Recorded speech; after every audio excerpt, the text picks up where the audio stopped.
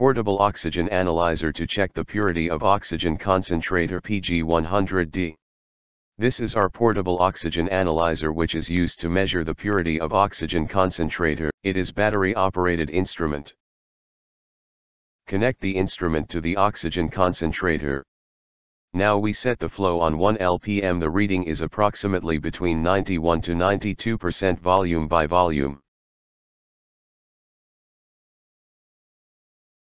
Now we set the flow on 5 LPM the reading is approximately between 93 to 94% volume by volume.